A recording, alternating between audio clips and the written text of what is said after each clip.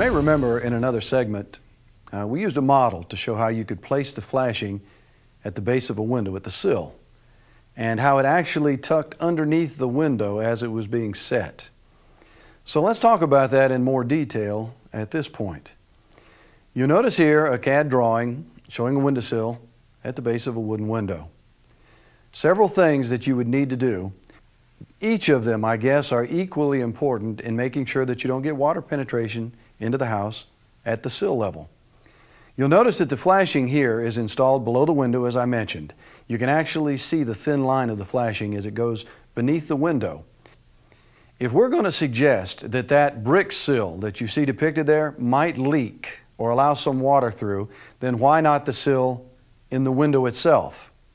Obviously, it will leak some through the years too.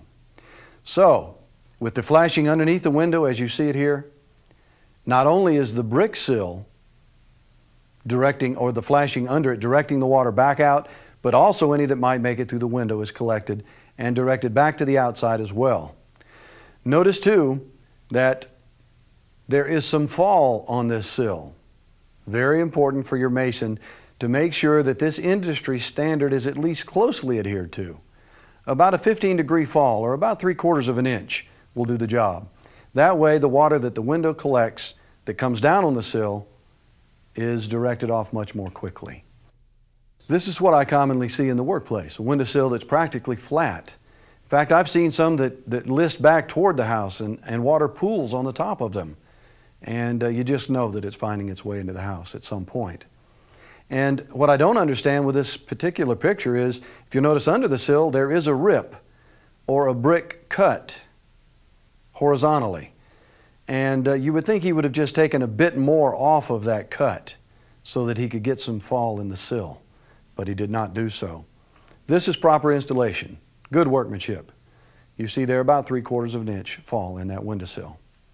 What you're looking at here now is a subdivision close by our office. And after doing a presentation for a large tract builder, uh, another member of our staff just happened to be going through the subdivision where they were building multiple homes and saw the flashing hanging down outside the window and uh, realized that it was underneath the window as we'd suggested.